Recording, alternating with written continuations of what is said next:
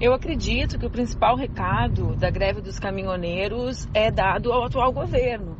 Ou seja, acho que o recado da greve é que a atual política de preços da Petrobras é insustentável, porque ela torna a vida das brasileiras e dos brasileiros mais pobres, especialmente das mulheres, um verdadeiro pesadelo.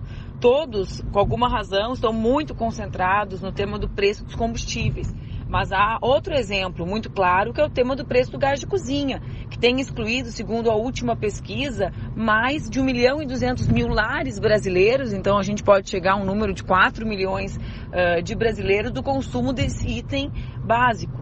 Então, acho que isso comprova que a Petrobras tem um caráter estratégico para o país e que ela não pode ter como objetivo central da sua gestão a remuneração dos seus acionistas.